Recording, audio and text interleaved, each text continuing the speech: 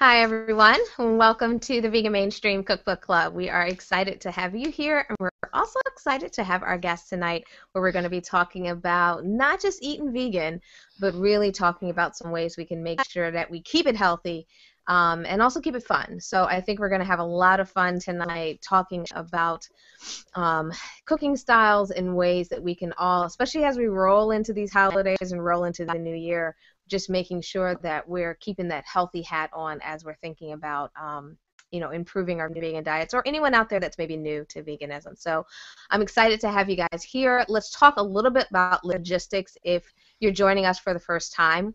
This will be recorded so you'll be able to watch it and share it hopefully with any of your friends but more importantly, we'd love to get your questions. If you have any questions um, for our guests tonight, please feel free to post them on Twitter, Facebook, Google Plus, no matter where you're watching. We will try to grab those up and pass those along to our um, to um, Chef Del, who's going to be speaking and talking with us tonight. We love to make this interactive.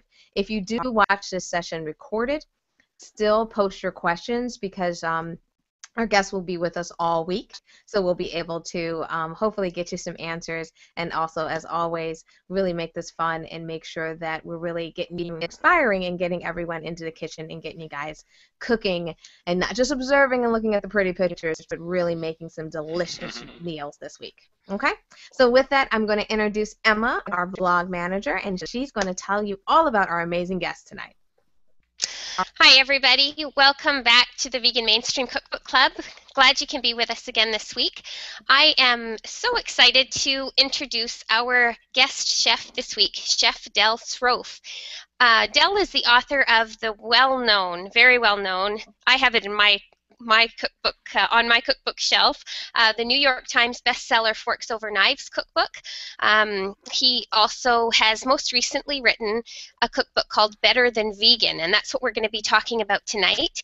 Um, in Better Than Vegan, um, Chef Del provides more than 100 recipes that talk that talk about how veganism can be not only delicious but also super super healthy for you. So um, we're going to hear a little bit more about Del's story shortly, um, and I would like to send you a big welcome. Well, I'm so glad you could be with us tonight, Del. Thank you. It's exciting to be with you. This is fun for me. well, we I, I, want to get started. We always get started with these chats by asking our guests to tell us a little bit about themselves and their own veg story. So could you do that for us, please? you know, my my story is about 24 years old in vegetarianism. I dropped out of college in 1989 and went to work for a vegetarian restaurant. Not because I was going vegetarian at the time, but because I wanted to get some management experience, and they offered me a job as an assistant manager at night.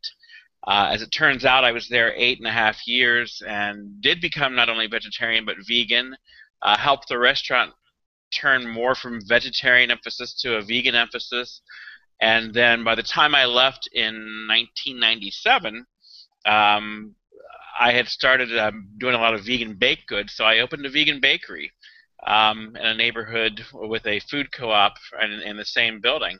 So in 1997, I opened a vegan bakery and spent four years building and growing that business. And um, um I did what I know a lot of people do, but we don't hear too much about, was I, I chose the wrong vegan foods to to fuel my body, and as a result, gained over 200 pounds, um, and uh, became a, a very unhealthy, unhappy chef. So I closed the bakery in 2001, started a personal chef service, and uh, over the next five years, um, really started feeling the effects of my um, excess weight and unhealthfulness.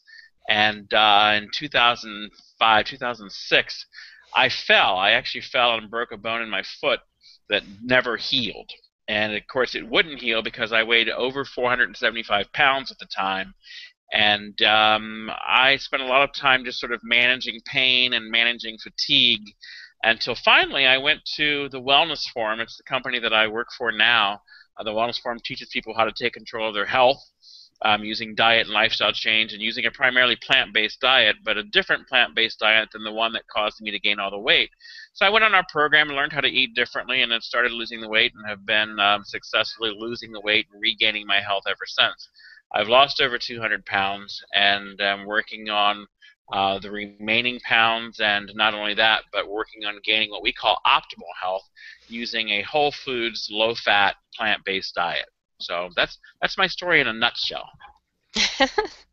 that's inspiring and i think a lot of oh, that's something that we talk about quite a bit here on the vegan mainstream cookbook club and on vegan mainstream in general that that um, you know there are lots of ways to be an unhealthy vegan. It, just being vegan isn't the ticket to good health. You can you you definitely still have to make good choices. So we're excited to to have you here to share that perspective well, thanks. I, I, think what you've seen, especially in the past maybe 15 years since I've I first went vegan, is that the vegan food market almost parallels the mainstream food market. So you have vegan sausage, you have the processed cereals, you have sugar, white flour, lots of excess fats and oils, and processed foods that um, are very attractive and taste very good and makes people feel like they're not giving up so much when they eat these foods.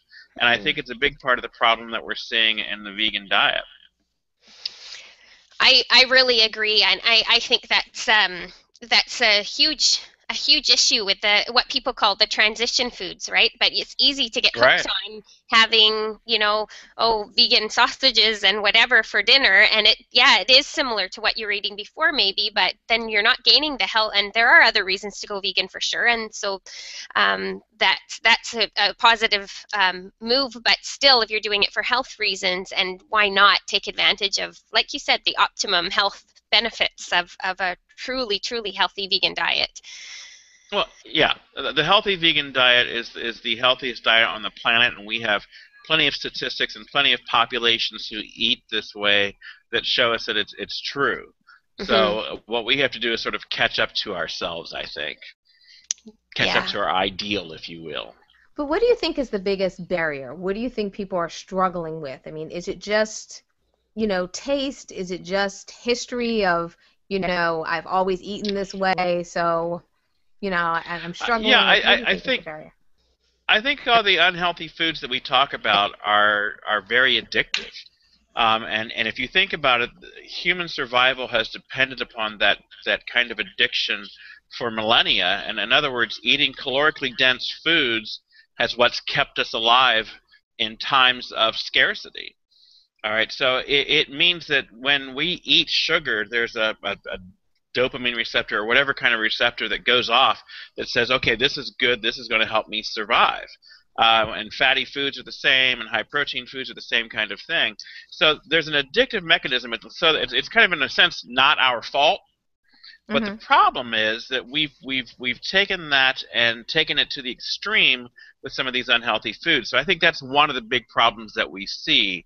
Another one, again, I think it's food marketing. Uh, when we're seeing the same processed foods that we were just talking about being thrown at us um, and saying, okay, you don't really have to give up sausage. you know, here's vegan sausage that tastes just like what you've had and what you're used to. You can have um, mac and cheese, and you can have cakes and cookies and donuts and ice cream and pie and all of those foods that we knew. So people assume that going vegan is just this naturally healthier thing and in a small way, yes, but not necessarily when it leads to obesity and to the same diseases that we talk about um, in mainstream diets in at the beginning of your book, um, I really liked the list of the 10 dietary mistakes that people make, including vegans. and I wondered if you could talk a little bit to the to some of those and how to, how to avoid them, give people some advice and inspiration well, right before Christmas. yeah, I know. You know, I, Christmas is a hard time, and I think that that people sort of just sort of let go of all of the, the possibilities of good habits. And there's a couple of recipes in the book that um, I make for my holiday dinner. Um, there's a stuffed baked tofu in there that's a perfectly festive food. But uh, some of the mistakes that people make. Let's let's go back to that. I, I think a big one is this processed food thing that we talk about. So eating processed foods Um, there's nothing nutritious about a lot of these foods. You know, they are just imitations of already unhealthy foods, and they imitate the least healthy components of them. All right. So, and then, and this sort of leads into another one of the mistakes we talk about is the fact that eating too much protein is bad. We have an emphasis in this country on getting enough protein that goes back to a time again when we didn't get enough calories. Period. The World Health Organization identifies the only populations on the planet that don't get enough protein are populations that don't get enough calories. The rest of us get it so easily it's ridiculous that we spend as much energy focusing on it as we do. Mm-hmm. And the excess protein, even vegan protein, uh, vegan protein doesn't have the same impact that say dairy does. But if you're focusing on like vegan sausage and you're getting 45% of your calories from that kind of protein, you do see some problems. And not to mention the excess calories, the excess fat. Um, cholesterol is bad of any kind. So staying away from cholesterol is, is, is a good idea. Your body manufactures all the cholesterol that you need. Um, you don't need to worry about it, let alone think about it. Um, you know, this isn't really one part of that list, but I, I think one of the things that people do when they're trying to lose weight, and you'll see this a lot during the holidays, is is people try to do this starvation dieting and it was one of my big problems for a long time. So like i would do this starvation thing leading up to the thanksgiving or christmas holiday so that i could eat more that day or so that it, i wouldn't gain weight that day well when you deprive your body of that much food what eventually happens is the hunger mechanism which is the one that's kept us alive all these millennia is going to win out you are going to eat one way or another. So take a starving body and put it in front of this big buffet and say, okay, just eat normal portions, and it doesn't happen. Right? So you've got to fuel the body all the time to keep the hunger mechanism in check. And doing it with low fat, whole foods, uh, plant-based foods is a great way to do it because that the high fiber foods that we talk about eating really, really do go a long way towards managing hunger. So you get up in the morning on Thanksgiving Day or Christmas Day and, and you, you get a good high fiber plant based breakfast in you. You do the same thing at lunch. You're not going to overeat when it comes to that big meal later in the day because you've got this fiber in there that's keeping you in check and saying, okay, we're doing okay. We're not in starvation mode. We don't have to worry about it. We can eat normally and enjoy ourselves and, and then go forward from there. Yeah, that makes a lot of sense. And what, one of the things that I wondered if you could talk about is, um, you know, it is a different taste if you're cooking without oil, or you know, it is a taste that you have to get used to. So, do you have any advice for people who, you know, really want to start help, like, try, give it a good try either now or after Christmas. and, um, and you know, do you have some some tips for people of what they could try? What you know what works? Yeah, I, I, I do think that you have to, to do one thing. You you have to downregulate your taste buds at some point. And the best way, like sugar is a good example of this. At some point, you're going to have to say, I'm putting sugar aside and taking processed sugar out of my diet. And I'm going to go the two or three weeks that it takes for me to get used to not having sugar. What you find is when you go back to eat um, naturally sweet foods. Like when you go to eat pineapple after you've given up sugar, pineapple tastes sweet enough on its own. Okay, so that's what we call the downregulation of the taste buds. You come to appreciate the natural sugars in foods all the more. The same thing kind of happens with fatty foods and things like that, is that you get them out of the diet. And again, it's a kind of a cold turkey thing. You just have to do it. Um, and you might not like food for the first two or three or four or five days, but eventually, what you start to notice is you're tasting foods differently. Your taste buds have regulated to what's going on. And then when you go back to eating some of those foods that you've not been eating, like fat and sugar, they fat sugar tastes too sweet, and then fat oils taste greasy. Mm-hmm. Okay, mm-hmm, so those yeah. are those are it's, it's, it's the body will adjust to a new way of eating and eventually you don't even like the taste of sugar and you don't like the taste of fatty foods. My body doesn't deal well with them. Uh, I, you know, I've gone long enough that there's only so much of that stuff that I can put in me, and, and I can tell that I'm not happy. So that's a, that's a couple of things that you do. In the meantime, you know, you see some of the recipes like this in the book. Um, I eat a, a, a delicious vegan ice cream uh, made with bananas and a little bit of stevia and maybe a little bit of date syrup that um, are it's sweet, it's creamy, it's rich tasting, um, it's a great treat, and it's not full of fat and excess calories that I don't need. It's made from a nu- nutrient dense food. So I've found other things that I like. I can still enjoy an ice cream treat. I have a, a recipe for a fig bar in there. Like I used to love fig Newton, so I have my own version of them. It's a whole grain version of it. And you know, I've fed these to people and not even said, okay, here's a healthy treat for you to try. And they're like, oh my god, these are really good. You know, so it's it's it's a lot easier than I think people think. I think it's just a matter of letting go of the emotional attachment we have to the, the way that we've eaten for a long, long time. Some people do it really easily, and some people really struggle with it. So a lot of it's dealing with the the head trip that you go through that makes you think, "Oh, I don't want to do this." Yeah, I have to admit, I'm one of those people because I have You're- so. you're not alone. saying, I gotta get the fat out. I gotta get the fat. You know, low fat, high fiber, and we've really struggled. I mean, we've tried over the last 30 days to do it, and I have been almost embarrassed how much I've struggled with it because you know I'll taste something and I'll be like, oh, I'll just put some more salt on it or put some Bragg's on it, and you know I'm.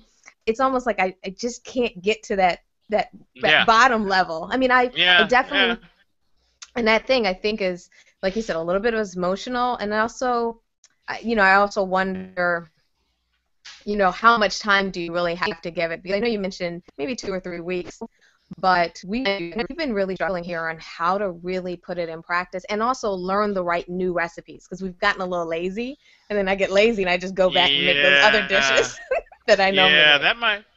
I mean, I think it, it helps when you're exploring new recipes, and you might find you don't like this or that recipe, but you keep trying, and eventually you, you find things that you do like. So I make, for example, um, pesto is one of the dishes I make, and I make it with white beans in the cookbook.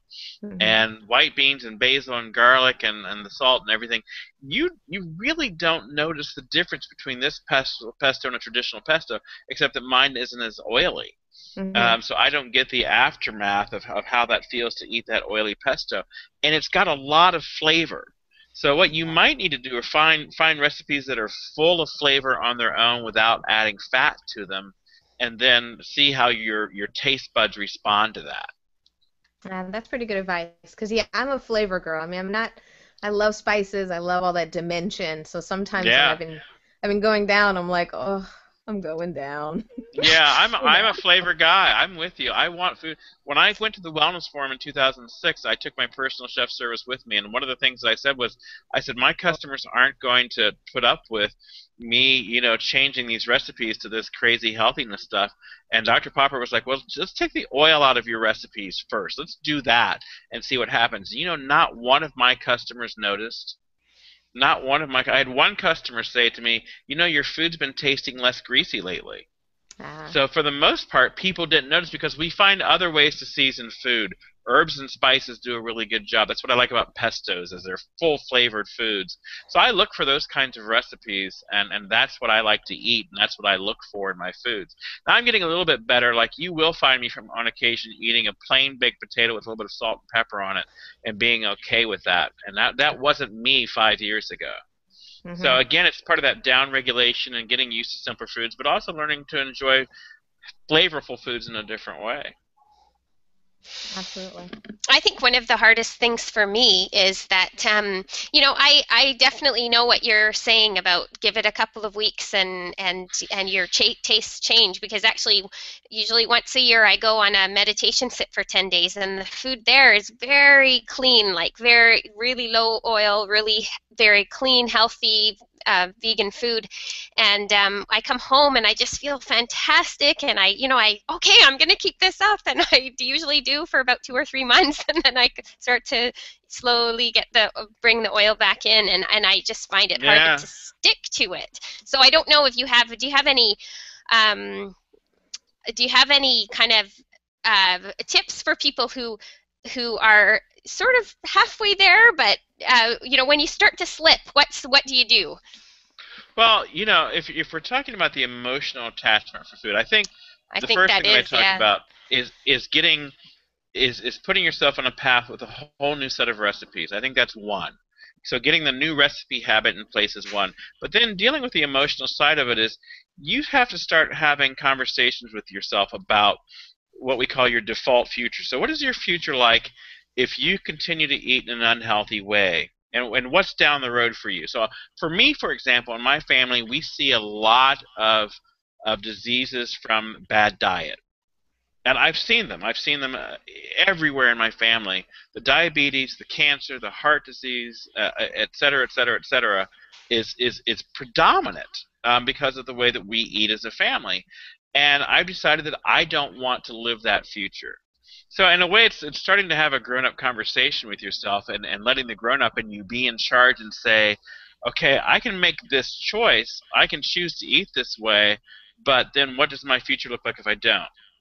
Yeah, right? taking full and responsibility for what you're it eating. It is taking full yeah. responsibility, and then also accepting the fact that these cravings are going to happen. So when you have a craving, you have to sort of stop yourself. Like it becomes an automatic reflex. If I'm in the grocery store aisle where potato chips are, it used to be an automatic reflex that if I walked by that bag of chips, my hand reaches up and it's in the cart before I've ever had a chance to stop and think about it.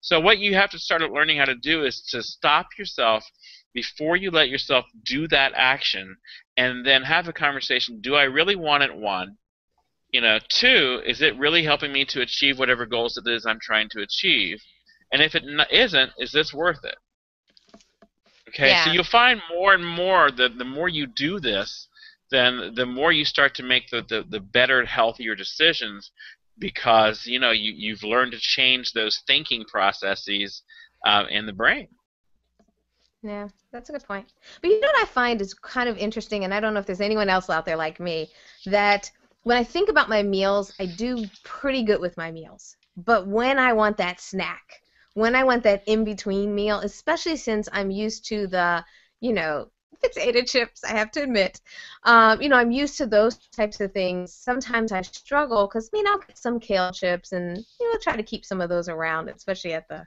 the rate that kale chips come at. Um, we've struggled with what do we keep on the shelf for that nibble moment or sometimes for those bad habits? I mean is it just i got we got to get rid of those bad habits? Or yeah. are there really good snacks to replace in that? Well we uh, we we teach people to do what we call to uh, sanitize your kitchen and your house actually so mm-hmm. if you come into my house you don't find potato chips you don't find beer you don't find any of those things that easily tempt me my last unhealthy thing that's kind of a whole food unhealthy thing that I got rid of was I can't keep peanut butter in the house because I'll sit and eat it by the spoonful. So I mm-hmm. got it out of the house. So when I want something to eat, I have only healthy choices to choose from. And in the beginning, I used to kick and scream and lay on the floor and go, "Ah, I hate this." But you know what I found is now I I find myself so I keep frozen bananas. If you, do you like ice cream? Yeah, you keep Guys, frozen bananas. Yep. I keep the frozen bananas in there, and I make that. Frozen, it takes me five minutes to make this little frozen banana ice cream treat.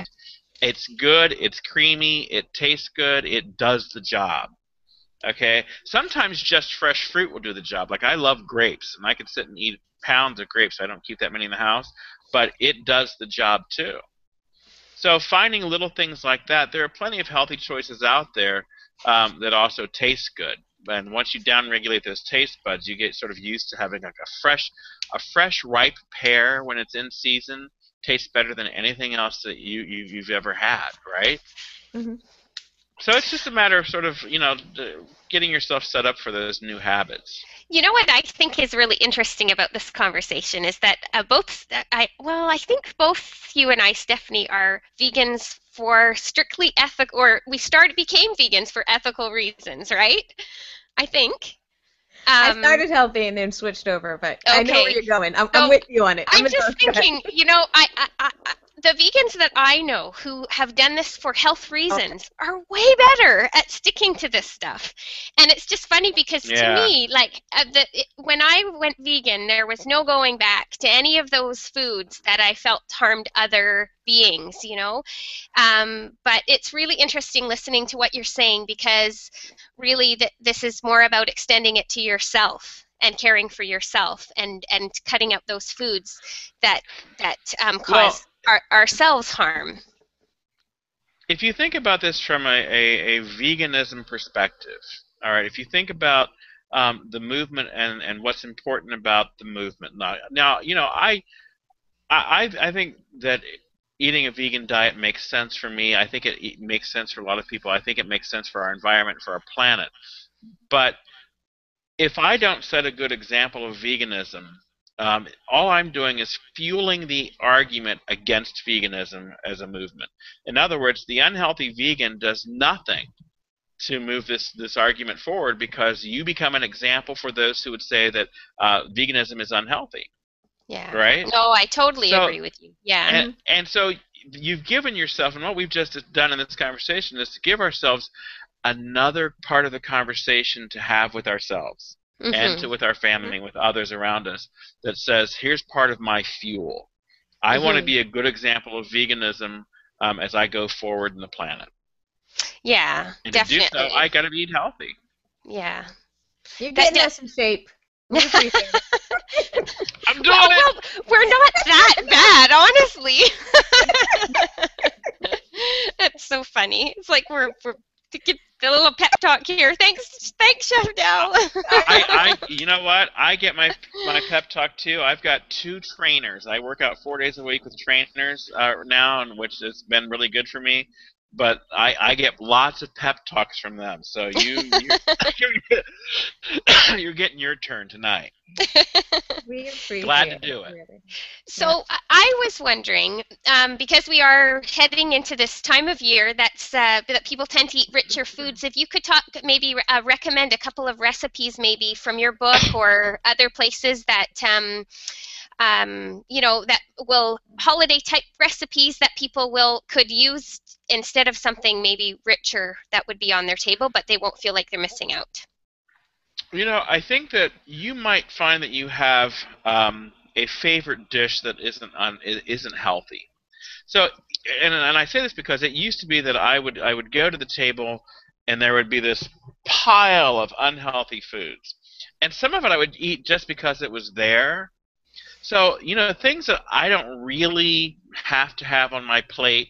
Um, let's say mashed potatoes. I can probably skip the mashed potatoes, or if I don't have a healthier version. So I look for the maybe the one really unhealthy dish that I want to have, and I'll have that. Like it might be a piece of, a vegan chocolate cake. All right, so I, I might be saving up for that, and then everything else I'll have will be the healthier foods that I like. So I had, for example, a stuffed baked squash for Thanksgiving. It had wild rice.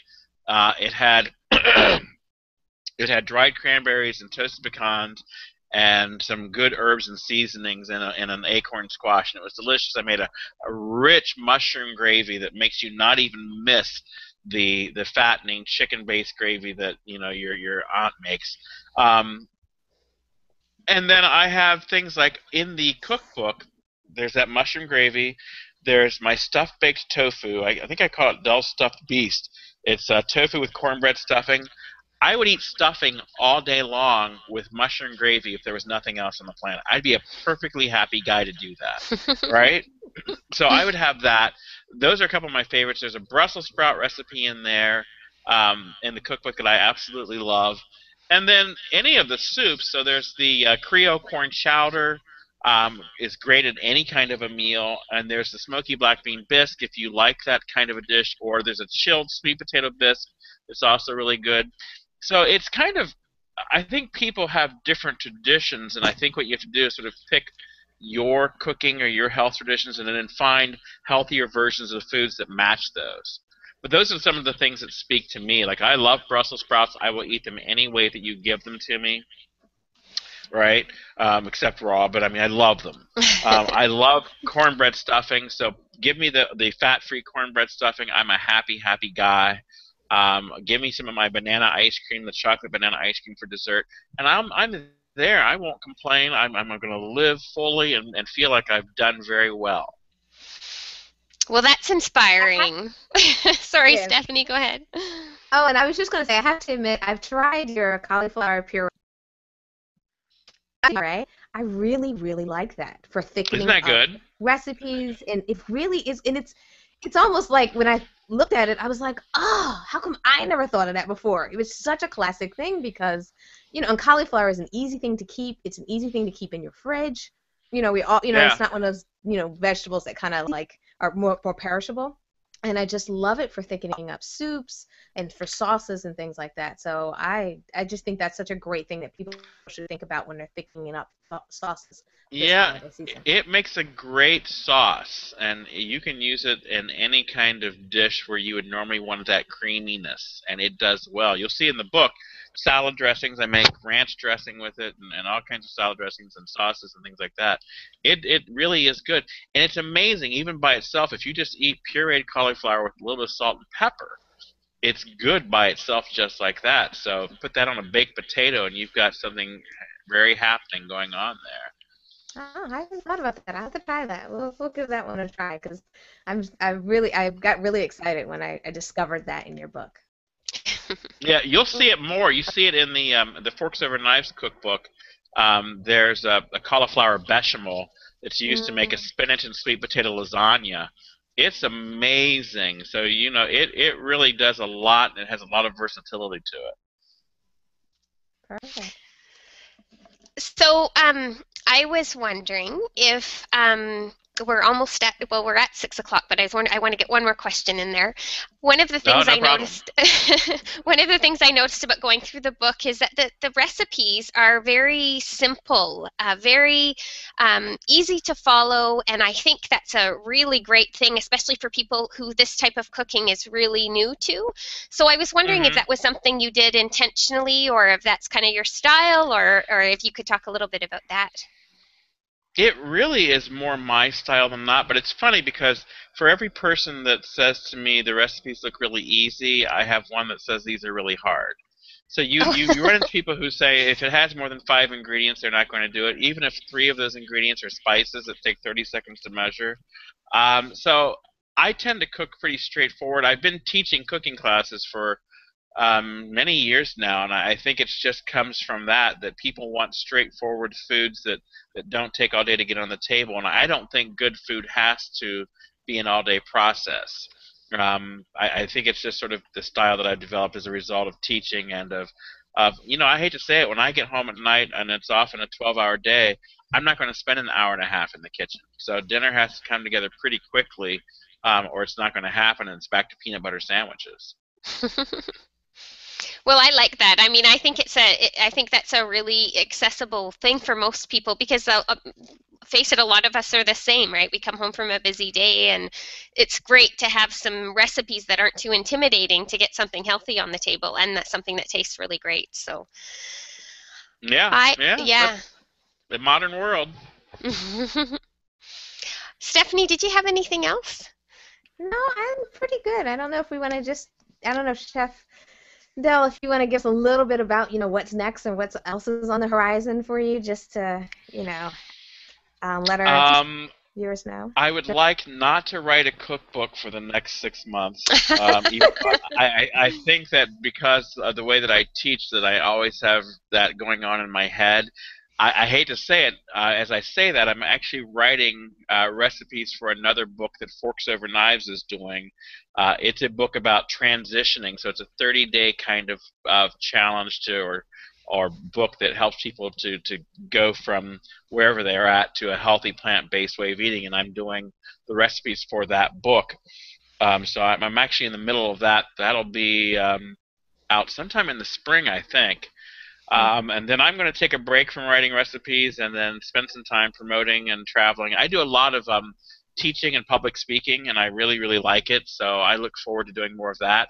My company, the Wellness Forum Foods, is coming out with a line of sauces. We're produced. We've been working on a line of um, healthy, uh, oil-free sauces and salad dressings. So those are coming out hopefully in January. Um, Oh. so I'll be working to promote those and get those out into the world, and then um, we'll see. Uh, maybe some downtime, vacation. Sounds Oh, you like you deserve it. I know.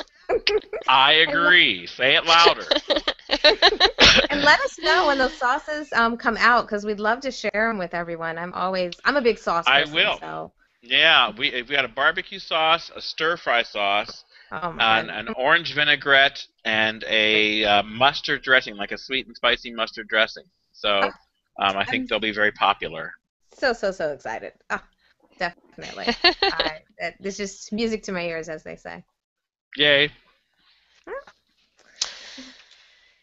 Well, I think we're a little bit past the time tonight, so maybe we should be wrapping up. I don't know, Chef Del, if you have any final words for anyone who's watching, anyone who's listening um, for tonight, or if we should um, wrap things up now. Uh, food is good. Healthy food is better. Enjoy it, embrace it, go out and eat well. Those are great last words. Absolutely. Thank you so much for joining us tonight. It's been wonderful. Thank you both. It's been fun. Let's do it again. Absolutely. Absolutely. Thank you so much. And thanks for everybody for listening. And um, uh, check out um, Chef Del's recipes on the Cookbook Club this week and make them. Share your photos, share your thoughts, ask your questions. And we will be taking a break for two weeks for Christmas and New Year's, and then Yay. we'll be back with you in January. Um, we're still going to be doing lots of stuff on the Cookbook Club, but we don't have any dedicated chefs because we thought probably nobody would want to talk to us on Christmas Day. so um, we'll be back uh, with an, another chef on it uh, the second week of or January 6th, the week of January 6th. So um, we'll look forward to talking to everybody again then. So thanks again, um, Chef Del. I keep wanting to call you Del, Chef Del. Either way, thank you, and I look forward to seeing you guys again. Great.